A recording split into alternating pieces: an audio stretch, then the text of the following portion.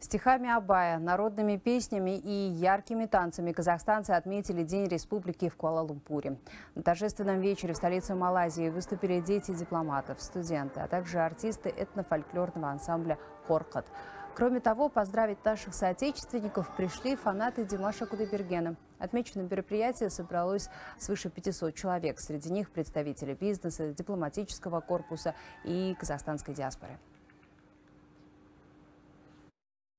С творчеством Абая я познакомилась благодаря Димашу. Позже мне подарили сборник стихов великого казахского поэта на малайском языке.